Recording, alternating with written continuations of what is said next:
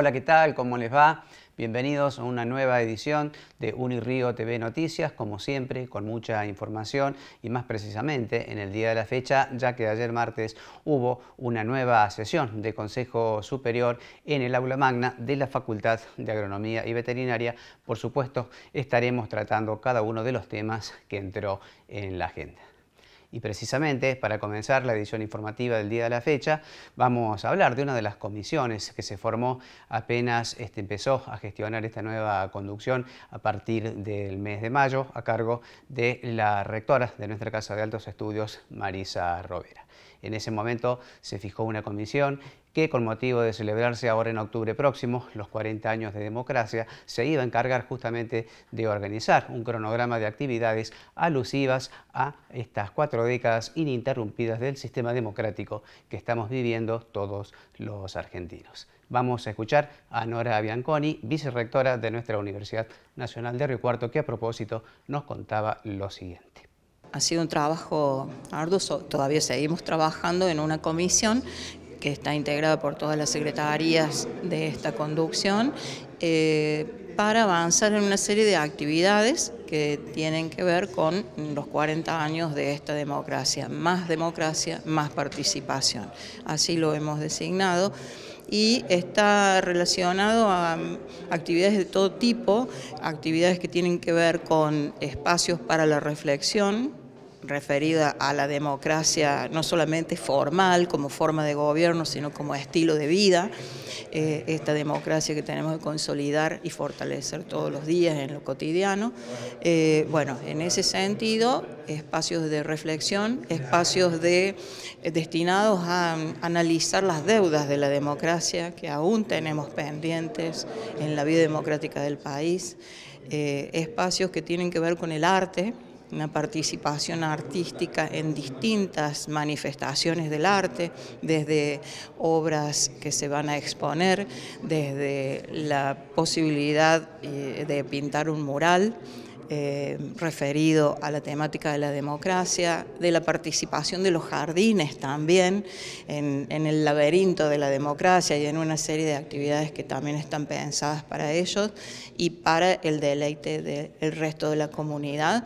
Y también eh, la participación del PEAN con sus manifestaciones artísticas, la expresión coral del PEAN eh, y por supuesto, algunas mesas donde tenemos invitados, como el caso de Dora Barrancos, que ha confirmado su participación de manera virtual, eh, Susana Trimarco, Rosa Sabena, el fiscal Gonela, que también nos va a estar visitando. Eh, y en este sentido poder también hacer esos aportes a la reflexión que venía diciendo, para poder consolidar esta democracia que si bien hace 40 años que se da de manera ininterrumpida, tiene que proyectarse y tiene todavía una serie de cuestiones que fortalecer y mejorar. ¿A partir de cuándo, vicerrectora, se empiezan a desarrollar estas actividades? ¿Se van a hacer a lo... Están planificadas desde el 19 de octubre hasta el 30 de octubre. Comienza o arranca con una, eh, un encuentro de teatro universitario que están invitados también los jóvenes del nivel secundario. Se va a trabajar fuertemente con los jóvenes de la universidad y del nivel eh, secundario. Entonces, en ese sentido, se hace una, una presentación de teatro didáctico que tiene que ver con la temática de la democracia. Después están invitados coros de, toda la, ciudad y de la región que van a estar haciendo intervenciones sorpresa en distintos ámbitos de la universidad y también algunas actividades que se van a hacer en el centro de la ciudad. Bien, compartíamos entonces ahí el testimonio de la vicerectora Nora Bianconi, numerosas actividades este, se están previendo de aquí este, al 30 de octubre, que es el día justamente que se conmemoran los 40 años de la recuperación de la democracia. Música, danza, teatro y también, por supuesto, este, charlas y cursos de capacitación con visitas estelares, como por ejemplo la del fiscal Gonela, Susana Trimarco, entre otros. Vamos a seguir ahora desarrollando el quehacer informativo de nuestra Universidad Nacional de Río Cuarto. Nos vamos a trasladar a la Secretaría de Bienestar. Se realizó un sistema de relevamiento de costos del sistema alimentario universitario y también, por supuesto, los ajustes acordes a lo que es el menú universitario de todos los días. Vamos a escuchar a Paola Biasoni, Secretaria de Bienestar de nuestra institución. Bueno, estuvimos analizando principalmente la situación financiera por la urgencia de ese tema puntualmente, pero hemos elaborado un abordaje integral de todo el servicio alimentario que incluye además el uso de descartables, la sustentabilidad, la disposición física de los diferentes espacios del servicio alimentario, los sistemas informáticos que tenemos para la gestión del servicio alimentario. Dentro de las propuestas que incluyeron en el informe, en cuanto al funcionamiento, a lo físico, ¿cuáles son los principales puntos? Bueno, eh, organizar el sector del cobro de las cajas, digamos, que si bien también el espacio es reducido, es tratar de en ese espacio reducido mejorar las condiciones en las que están ubicados los cajeros, eh, tratar de evitar las colas que se dan entre eh, las heladeras en donde uno tiene que proveerse de, de los insumos. También tenemos ahí la limitación física, pero estamos trabajando en conjunto con coordinación técnica y con los trabajadores del sector, principalmente los cajeros, para encontrar una mejor disposición que tratemos de evitar esas situaciones que hoy se están dando. En cuanto a los sistemas informáticos, lectores de barra y demás, eh, también se incluirían en esta lista. Sí, tenemos este, previsto eh, culminar con algunos desarrollos informáticos que ya cuenta el comedor, desarrollados en otro momento por la UTI, y estamos trabajando con ellos para terminar de hacer las adaptaciones que hacen falta para poner en funcionamiento el sistema de stock ¿sí? de control de stock de la mercadería, tanto lo que se compra como en el momento en que es vendido o utilizado para la elaboración del menú o alguna minuta, y también lo de la posibilidad de implementar el uso de la credencial con saldo para la compra de todos los insumos, no solamente del comedor, sino de minutas, cafetería, golosinas. Bueno, con respecto al financiamiento del menú, ya se analizó el costo y el valor de, para los agentes no docentes y docentes. Em, ¿Se puede decir que tal vez todavía eh, es el área de la universidad donde no se le encuentra la vuelta, donde se genera un déficit? Obviamente siempre con una buena intención que es ayudar a quienes necesitan alimentarse. Sí, así es. El, servicio alimentario es un área que, eh, como es de servicio y demás, es deficitario y desde hace mucho tiempo que, sobre todo el del menú estudiantil, está subsidiado. El tema es que al no haber una actualización automática, el contexto inflacionario, el aumento de los costos de los insumos y demás, ese déficit se está haciendo cada vez mayor y en este momento es un déficit que es imposible de afrontar y de sostener. Entonces, si bien la intención es eh, eh, actualizar el costo de los agentes, que eso es algo que ya se ha hecho porque así está regulado por resolución. Eh, bueno, actualizar el valor de, venta del menú para el sector estudiantil, para el sector de quienes tienen una beca estudiantil del departamento de becas. entonces, bueno, de, alguna manera tratar de, entre el valor de venta y las mejoras que podamos hacer en el sector de minutas, disminuir el déficit lo más que se pueda. ¿Y cuál sería la propuesta concreta? Bueno, la propuesta de base que nosotros presentamos es que el estudiante eh, pague el 50% del costo, es decir, subsidiar el 50% del valor de producción. Esa es la propuesta de base que nosotros hacemos con una proyección donde seguimos siendo deficitarios, pero este, gran parte de ese déficit, un 40%, estaría resuelto, digamos. ¿no? Eh, por supuesto que eso se acaba de este, proponer y aprobar el tratamiento conjunto en Comisión de Bienestar y de Presupuesto y allí se verá eh, qué es lo que se acuerda en cuanto a esa propuesta. Pero esa es nuestra propuesta de base que tiene que ver un poco también con lo que otras universidades hacen y con lo que ya se venía proponiendo al menos desde el 2019. ¿no? El sistema alimentario universitario entonces impone nuevas condiciones a raíz de, bueno, de la inflación y entonces hay que acomodar los costos, principalmente los del menú universitario y bueno, todos los otros servicios que brinda nuestro comedor. Vamos a escuchar ahora la palabra de quien es el jefe responsable del comedor universitario. Estamos hablando de Guillermo Doña. Como bien mencionaba el informe que fue redactado en forma conjunta por la Secretaría Económica de Bienestar, para nosotros como trabajadores sería muy importante eh, tener ese sistema informático que durante muchos años se ha venido pidiendo para poder contar con la información al día y en tiempo real para poder optimizar las compras y, tener una organización que hoy en día no tenemos. Además, eh, se habló mucho de la cuestión presupuestaria eh, del comedor y de los valores de los menúes. Ahora entra en discusión el menú estudiantil que eh, aún no ha tenido ajustes a la inflación y a los costos actuales. Sí, es, es un tema, creo que el más importante de todo es el tema inflacionario porque como bien indica el informe, eh, hemos tenido una inflación que es superior a lo que indica el INDEC eh, en el rubro alimentos. Es mucho más grande y, automáticamente nosotros al hacer más menos, indudablemente el déficit cada vez más grande.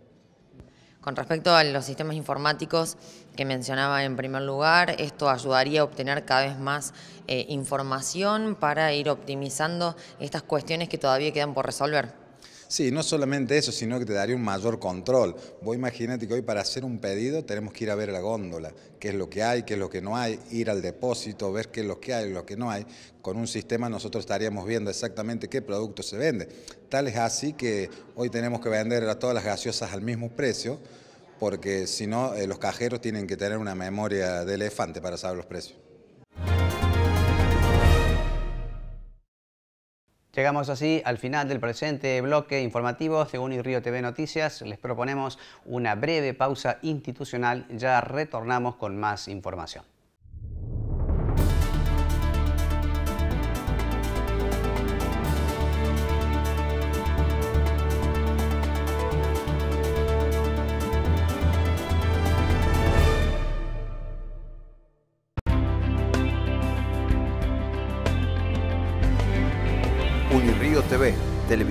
Universitaria.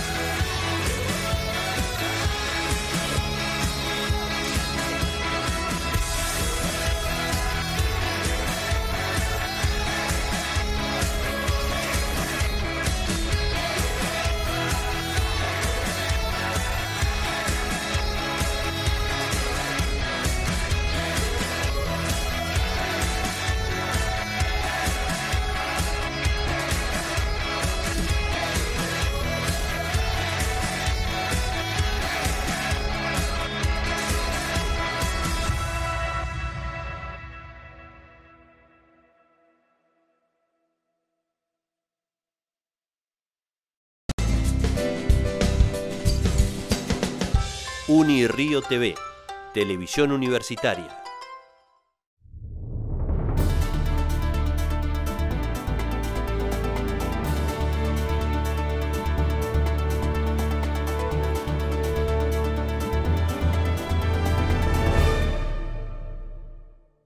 Retornamos en este segundo bloque del día miércoles de Unirío TV Noticias. Como bien dijimos al comienzo, vamos a seguir con toda la agenda que tuvo ayer en carpeta una nueva sesión del Consejo Superior en el aula magna de la Facultad de Agronomía y Veterinaria de nuestra universidad.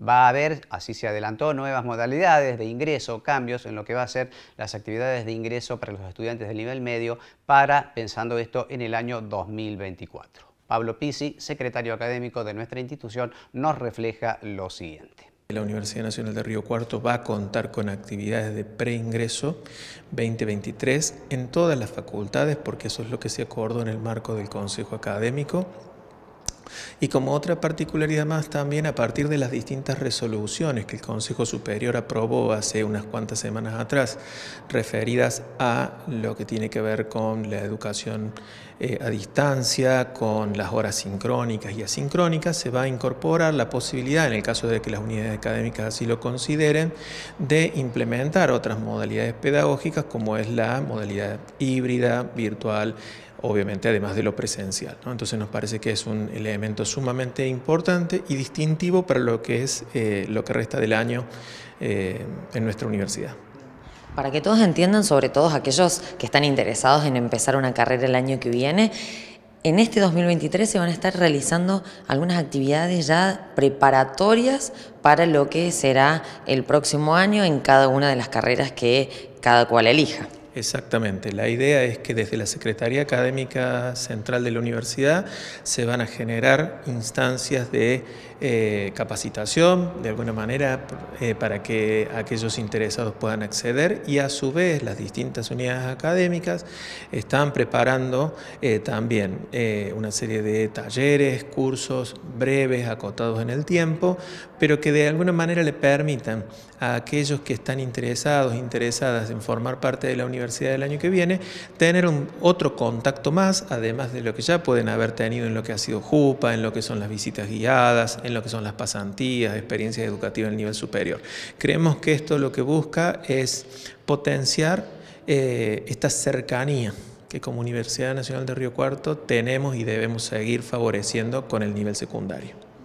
Hay que aclarar que no son actividades obligatorias, ¿verdad? Y cómo pueden hacer eh, los estudiantes que estén interesados en participar.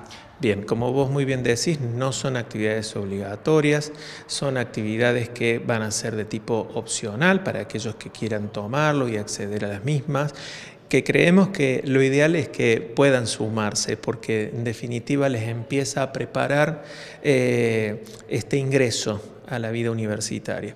Y en cuanto a, cómo van a tomar conocimiento de esto, bueno, en los próximos días eh, esto se va a, anunciar a través de los distintos canales que, con que cuenta la universidad, los que cuentan a su vez con las distintas unidades académicas. Em, tomando como referencia, por ejemplo, los contactos que nos ha dejado la reciente JUPA de este año. Entonces, eh, vamos a recurrir a todos los canales de comunicación que la universidad dispone y que cuenta para hacerle llegar a todos estas posibilidades, sabiendo que es un camino que estamos iniciando, que recorriendo como unidad toda, como universidad toda y que seguramente el año que viene lo haremos mucho mejor, pero que lo importante en este caso era dar el primer paso como universidad toda de acordar en la necesidad de un preingreso. Seguimos dentro de lo que son los planes y las modificaciones para el sistema de ingreso universitario 2024. Ahora nos trasladamos concretamente a la Facultad de Ingeniería. Se está desarrollando en el mes de septiembre, como es habitué todos los años, el curso de primavera, que tiene como objetivo principal visualizar lo que es la oferta académica de la facultad hacia los distintos establecimientos educativos de la ciudad y la región. Lo vemos. Comenzamos las actividades a las 6 de la tarde. Eh, tenemos un número de inscriptos de 60 chicos eh, inscriptos para cursar presencial y unos 20 para cursar una segunda etapa que va a ser presencial pero mediada por la tecnología a través de, videoconferencia. Ayer comenzó, los presentes más o menos eran 50, pero bueno, algunos tienen tiempo de sumarse y la semana que viene vamos a continuar durante todo este mes, más o menos un mes y medio. Recuérdenos, secretario, ¿cuál es el objetivo de estos encuentros? Nosotros esta, esta propuesta la hacemos con el objetivo de que los, los estudiantes de nivel medio que ya están pensando en estudiar las carreras de ingeniería, empiecen a, conocer la universidad, a conocer los contenidos, las metodologías, empiecen a eh, vivir la universidad y también que los ayude a decidir si, realmente eh, la elección que han hecho es la, es la adecuada y, como un objetivo también un poco, digamos, más profundo es tratar de que se saquen un poco los miedos y que vayan viendo que se puede estudiar ingeniería y que no importa la orientación del colegio, cualquiera puede estudiar ingeniería. ¿Y qué contenidos se abordan en este curso? En este curso principalmente son los contenidos disciplinares, centrados en lo que es matemática y física, y también está prevista realizar una actividad que tenga que ver con la carrera y la futura profesión, con esta intención que te comentaba anteriormente, para que vayan visualizando lo que es la profesión del ingeniero. Es para todas las ingenierías que estén interesados los chicos en cursar. Claro, es un curso común para todas las ingenierías, para nuestras cinco carreras, eh, y centrado en las disciplinas, como te comentaba, y después, bueno, en la etapa de febrero se dividirán por carrera y, cada uno seguirá su, disciplina. Más, ¿Más o menos un mes de duración tiene este curso? Tiene una duración de siete semanas, un mes y medio. Eh, la primera instancia, esta que es presencial, a la que pueden venir los chicos que son de acá de la ciudad, y la segunda instancia, la misma duración, pero eh, cursado a través de videoconferencia, apuntando a que eh, más o menos el 45% de los inscriptos son de afuera de la ciudad. Lo decía entonces Leandro Giorgetti, ¿no? secretario académico de la Facultad de Ingeniería, la relevancia que adquiere justamente este tipo de cursos así, los estudiantes de nivel medio se van adentrando dentro de lo que es la vida universitaria y más concretamente lo que son las disciplinas, las carreras que ofrece la Facultad de Ingeniería. Como bien él dijo, se da tanto en forma física como en forma virtual. Vamos a trasladarnos ahora hacia el ámbito de la Facultad de Ciencias Humanas y concretamente a lo que es el Departamento de Ciencias de la Comunicación. La carrera de comunicación está pronta a cumplir 50 años de historia, esto es en 1973, dos años después de la creación de nuestra Universidad Nacional de Río Cuarto. Para tal motivo, por supuesto que hay celebración, nos habla de ello Arianda Cantú, quien es la responsable del Departamento de Ciencias de la Comunicación, además de lo que va a ser la cena festejo nos habla de una nueva edición de la jornada del quién es quién que se va a desarrollar los próximos días 27 y 28 de septiembre. Esta celebración de 50 años de una carrera que venía antes con otras características eh, y que se incorpora a la universidad a partir del año 73 y se termina efectivizando su, su plan de estudio en el 75, porque de hecho la gente que se ha graduado de esa primer licenciatura en Ciencias de la Información aparece como plan 75, eh, y de ahí tenemos de esa primer licenciatura eh, a la profesora Mabel Grillo, que ya está jubilada, pero que es una de las primeras graduadas, el profesor Miguel Ángel Trespidi y la profesora Liliana Llobet. Son algunas de las personas que desde luego transitaron toda su actividad en la Universidad de Río Cuarto. En ese marco, ¿qué actividades están organizando? Bien, nosotros en ese marco estamos con el famoso, las famosas jornadas ¿Quién es quién? que ya llevan casi 30 años, eh, que son las jornadas que iniciaron un poco para decirnos a nosotros mismos un poco qué es lo que está haciendo el colega de la oficina del lado, eh, cuáles son las producciones de, los y las estudiantes y también... Eh, ¿Qué hacen nuestros y nuestras graduadas? ¿no? Entonces siempre tenemos en estas jornadas las posibilidades de ver lo que hacen los docentes, tanto en investigación, en vinculación, en las, cátedras, qué hacen nuestros estudiantes en sus, en sus distintas actividades, digamos, eh, ya sea en producciones más técnicas, así como también en producciones en términos de planeamiento, de comunicación institucional. Y eh, también siempre convocamos a graduados y graduadas de, nuestra carrera para que nos cuenten eh, dónde se han insertado, ¿no? que esta es una experiencia siempre muy interesante porque tenemos una, eh, una carrera que le permite a nuestras y nuestros estudiantes, una vez que se gradúan, incorporarse e incluso hasta abrir nuevos espacios en donde ejercer como licenciados de comunicación o como comunicadores sociales. La invitación está formulada entonces, el próximo viernes 29 de septiembre va a ser la cena 50 aniversario de lo que es la carrera de Ciencias de la Comunicación con todo lo que ello implica. Llegamos al final de la presente edición, los invitamos a compartir un nuevo segmento informativo en el día de mañana. Tengan todos y todas una excelente jornada.